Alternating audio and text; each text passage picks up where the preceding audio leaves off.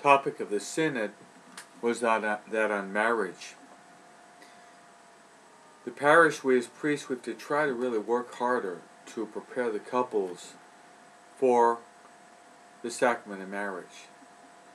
For that reason, in this parish, St. Peter Chanel's and Hawaiian Gardens, we've set up a marriage preparation program. And as said in an earlier talk, we form mentors, spiritual mentors that meet with the prospect couple. And the idea is meeting with them every week for close to six months before they get married. So that means that the couple is going to receive close to 25 meetings with the mentoring couples.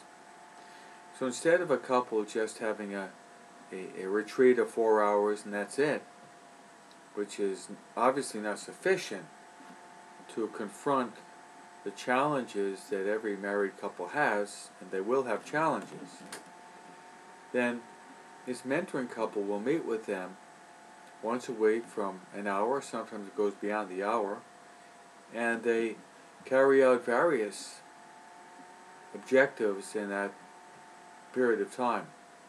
They pray, we get them to pray the rosary, sometimes after the rosary, chaplet Divine Mercy. Then we'll give them a couple of books that they'll read together and study and talk over. First book we'll give them is Catechism for Adults by Father William Cogan, and it's a short book but very substantial, in which they learn the basic catechism. So they go through that, a chapter or two every meeting.